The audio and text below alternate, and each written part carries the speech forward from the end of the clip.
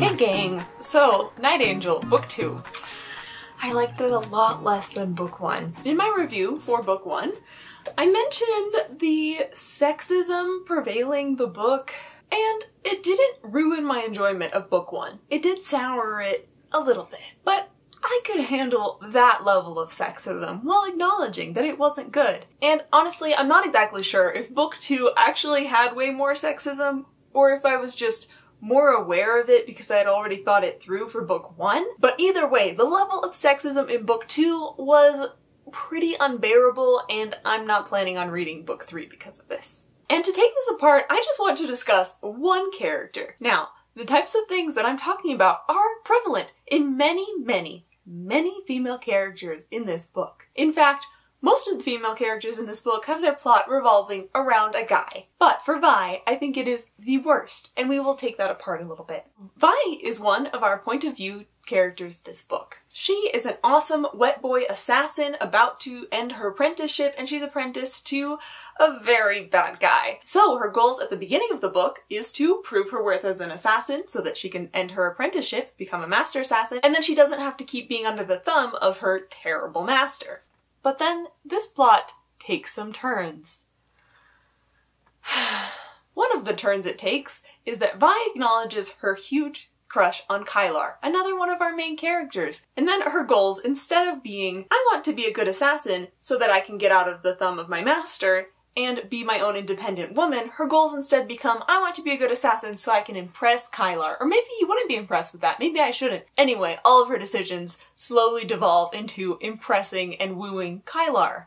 And her self-worth also gets tied up in if she can succeed in this it feels like Vi is going to be the engaging, awesome, independent, strong female character that breaks this sexism pattern. But then she becomes one of the worst ones, kind of just simping after Kylar. She does, at the end of the book, get the awesome win, but she only does this through totally exploiting her and Kylar's relationship. You see how that's frustrating? That she doesn't save the day because of her awesome wetboy assassin powers and capabilities which she has been training for years for. She kind of wins the day because of the power that her forcing Kylar into a marriage gives her. So let's talk a little bit more about the exploration of marriage in this book because that's also interesting. And I'd like to use Vi as our lens as well, because at the end of the book, while Kylar is mostly dead, she forces him into a magical marriage in order to gain the power she needs to defeat the God King character. Okay then. And the reason that she needs this bonus power to defeat the God King character is because the God King, surprise, is her magic father. If I have to hear that one more person is surprised, the God King's magic child, uh, it's it's too much. There are too many characters in this book that fit that description. Why does he have so many secret children?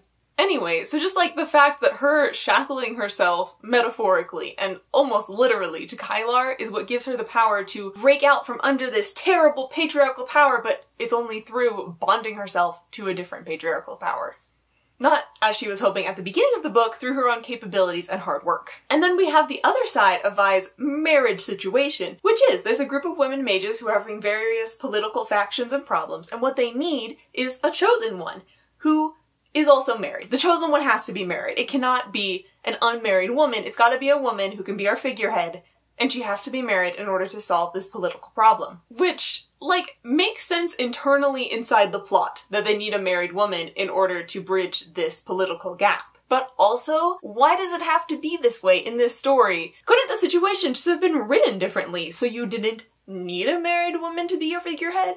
So then when these women mages find Vi, they're like, you would make a great chosen one, but too bad you're not married. And then, you know, they help manipulate her into forcing Kylar into a marriage, which is also icky because she is obviously wrong in this moment when she is forcing Kylar into this magical marriage when he is mostly dead. There is no consent at all. Vi is obviously the villain in that moment. So not only is Vi getting married a symbol of her submitting to patriarchal power in order to escape patriarchal power that's more evil, it is also a symbol of her own villainy. Why do almost all of the themes and messages in this book circle back to women need men to rule them? Women are just good for romance. Yes, she's still a capable assassin, but right now it feels like her main personality trait is just simping after Kylar. Anywho, so I won't be continuing on with the series. But after I read book one and loved it, I also designed like a few t-shirts because it was fun. So if you're interested in Night Angel merch, go check out my store. I also have lots of other t-shirt designs, so like, there are other options. Anyway, comment with some sort of woman-inspired emoji if you made it to the end of the video, and thank you, and how do you guys feel about this? Is it as bad as I'm thinking, or am I overreacting? I feel like I'm not overreacting.